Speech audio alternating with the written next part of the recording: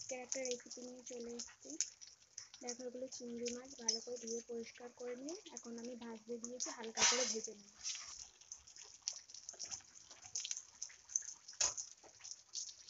আজকে চিংড়ি মাছেরই একটা রেসিপি হবে জাস্ট সিম্পল রেসিপি দেখো, ভাজা হয়ে দেখো, ভাজা হয়ে গেছে, কড়াই শুকনো লঙ্কা দিয়ে দিয়েছি।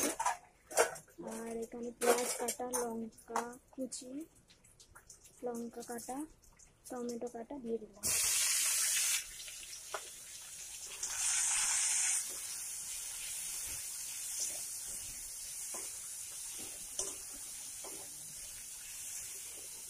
এটাকে ভালো করে আমি ভেজে নেব। টমেটো, পেঁয়াজ, আর লঙ্কাগুলোকে। এটাকে ভালো করে ভেজে নেব। টমেটো, পেঁয়াজ, লঙ্কা কুচি। দেখো, এটা ভাজা হয়ে এসছে। এবার আমি মশলাগুলো দিয়ে দেবো। কাশ্মীরি মির্চি দিয়ে দেবো একটু।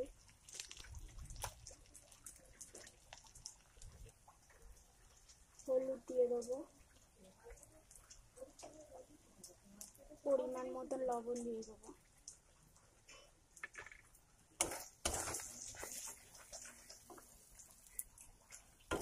দেখো এটা ভাজা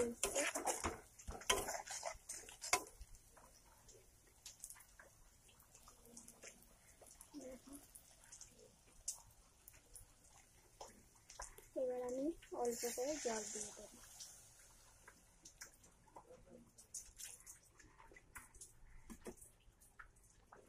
দেখো, এবার আমি ভেজে রাখা চিংড়ি মাছগুলো দিয়ে দিলাম।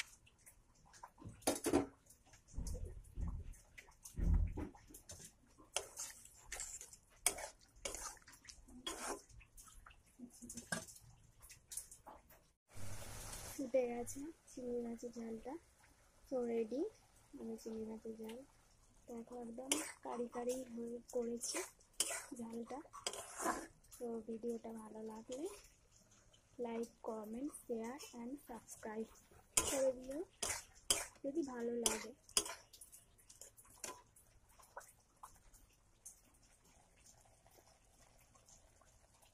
দেখো, আমাদের চিংড়ি মাছের জালটা রেডি